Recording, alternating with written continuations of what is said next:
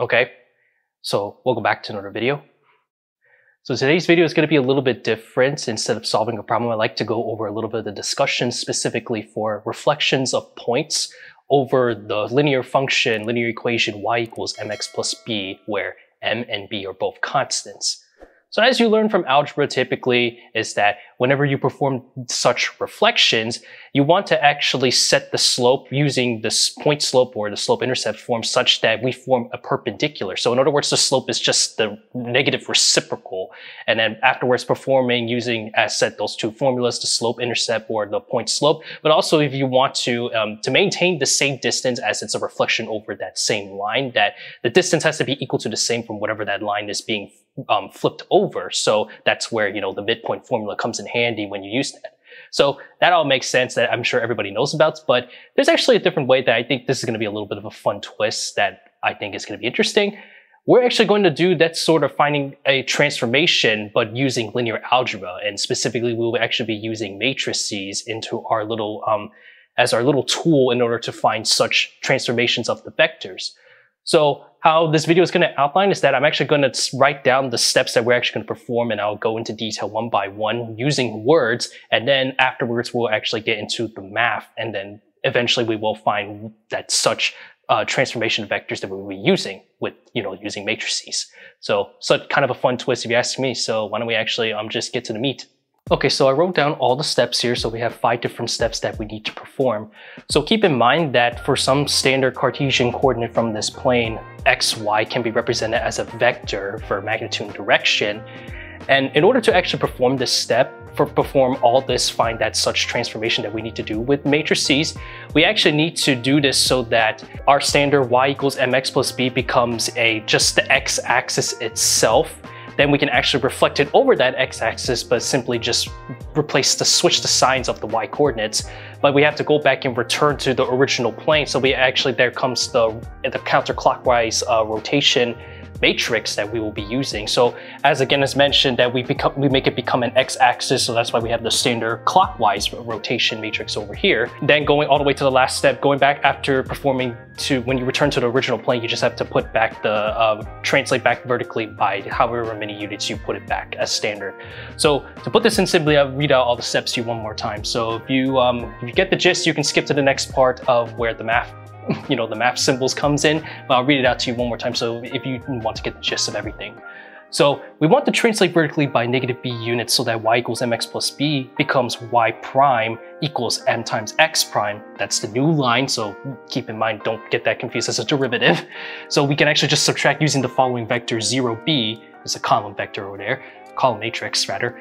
Then, as said, that we need to put this so that the new line becomes an x-axis, so that's where the rotation matrix comes in. So cosine theta, negative sine theta, sine theta, and cosine theta. So you also want to keep in mind that it actually forms with the angle theta of the positive x-axis, where indeed with the substitution m equals tangent theta. So by performing this, performing the rotating clockwise with this angle theta, so this will now become the new x. This will now become a new line, aka the x-axis.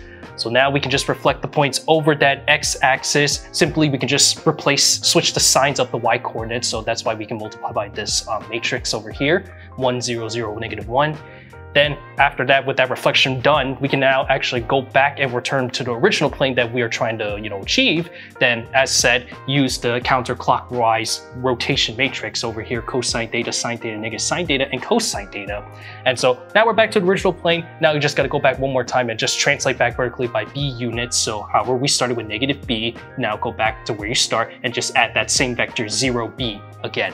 So after all that stuff, um, now let's actually get to the real math. So how I'm gonna do this is I'm gonna write the vector x, y, and then of course this arrow is to denote like this transformation. So step one is we're gonna actually subtract um, b units, translate vertically by negative b units. So we start off with our same vector x, y, then we subtract, so 0b. So let me actually, I'm gonna each step write that as a justification. So this is step number one.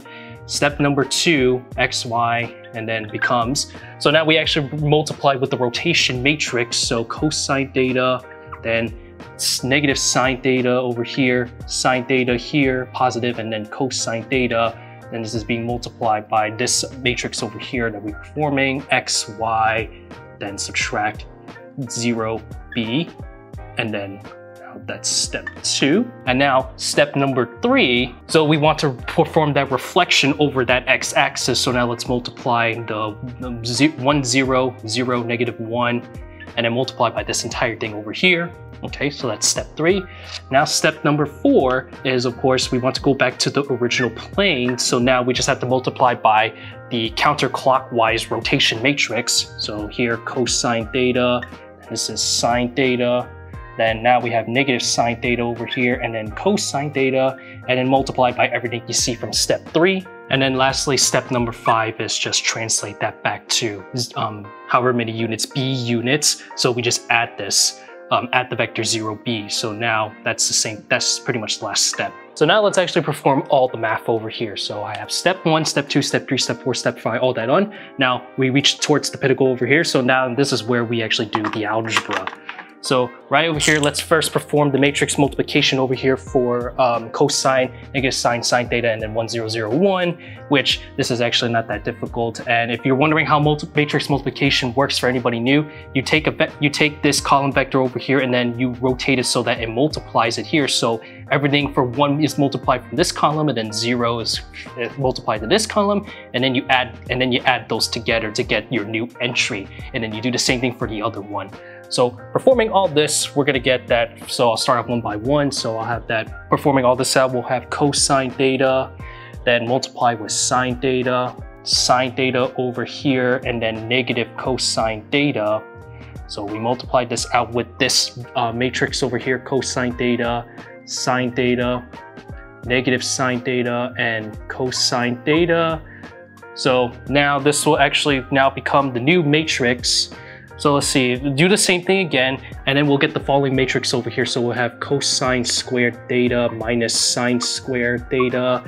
Then over here, this is gonna be two sine theta, cosine theta. Top matrix is the same thing, two sine theta, cosine theta. And then lastly over here, this is gonna be sine squared theta minus cosine squared theta.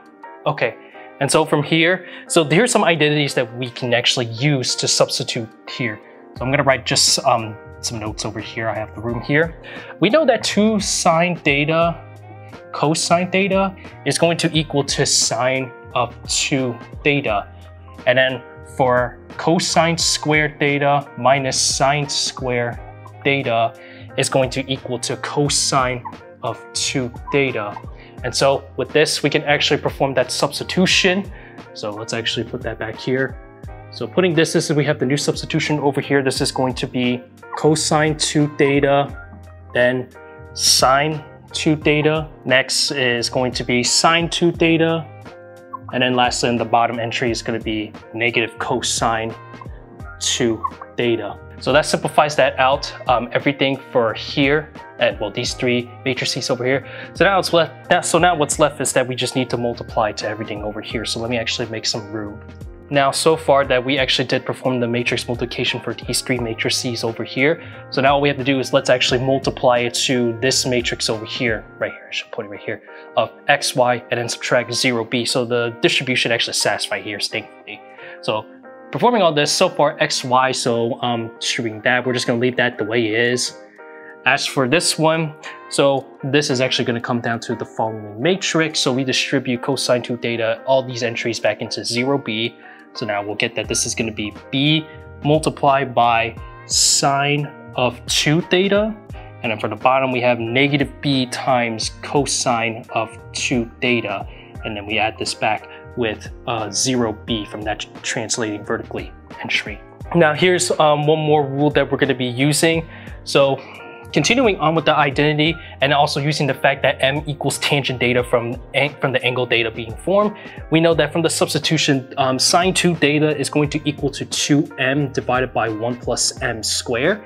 And then cosine 2 theta, theta is going to equal 1 minus m squared divided by 1 plus m squared. So from that, we can actually use some substitutions to um, simplify some things out over here. So now what this comes down to is x, y becomes this new uh, transformation. So if I perform everything out and I do the simplification, we're gonna have the following. So I have one divided by one plus m squared then multiply with the entries over here, 1 minus m square. This is 2m, 2m, and then m square minus 1 over here. Okay, and then next is, of course, being multiplied by x times y. Then we're gonna have that this is subtract c and then divided by 1 plus m square.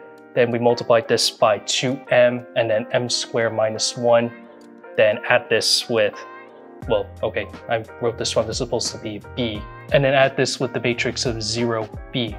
Okay, and so we can actually simplify this even further one last time. So this is over here, if you actually perform um, the distribution, but also just so you get a common denominator for this one, so that actually eliminates this entry out to um, come back into here. So now the final actually transformation it comes down to is therefore the um, set of vector, tra the transformation of vectors comes down to the following.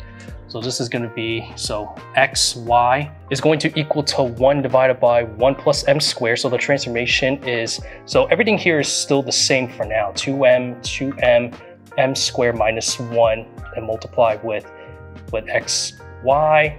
Then the simplification comes down to 2b, then divided by 1 plus m squared. Then we multiply this by negative m and then positive 1.